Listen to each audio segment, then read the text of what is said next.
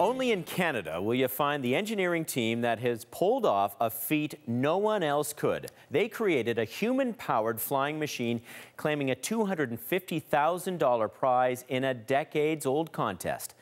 The engineers that led the team were from the University of Toronto, but they had to go to a neighboring city to find a place big enough for testing. Marivel Taruc takes us to a soccer complex in Vaughan.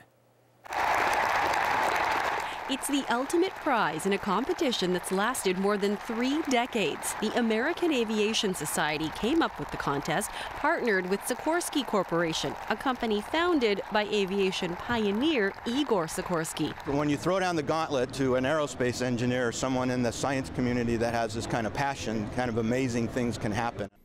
History has seen many attempts to create human powered flying machines. Countless innovations have tried and failed. But this Toronto team, led by two engineers, succeeded, capping off 18 months of unrelenting dedication.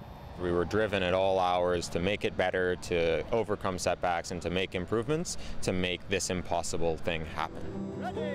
This homegrown helicopter is powered by another Canadian made vehicle, a Cervelo bike. Four sets of rotors are attached to the bike with a combination of carbon fiber, wood, and string. There's a string wrapped around there that goes straight to the bicycle in the center. So when you're, when you're pulling, you're pulling on this spool, and that's what drives the rotor. To win, the helicopter had to fly for one minute and reach an altitude of three meters, all the while hovering over a 10 by 10 square meter area. And last month, they did it.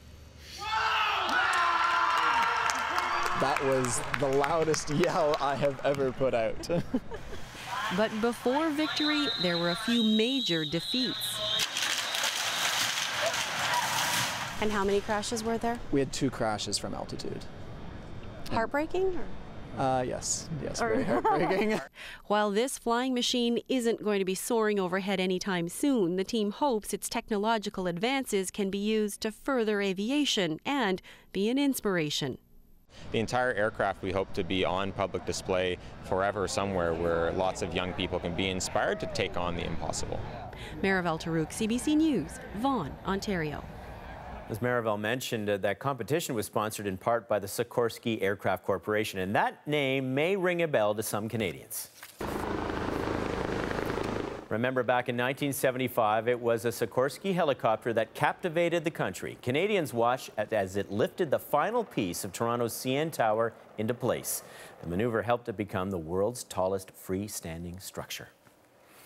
If you have an idea for Only in Canada, we want to hear from you. Just go to our webpage, cbcnews.ca slash only in Canada to send us your ideas, photos, and videos.